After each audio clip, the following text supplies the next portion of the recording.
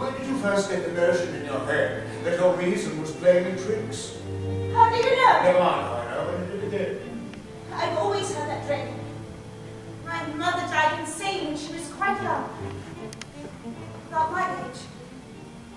But it's only been in the last six months in this house things began to happen. Which are driving you mad with fear. Yes, which are driving me mad with fear. Is it the house itself you fear, Mrs. Manningham? Yes, I suppose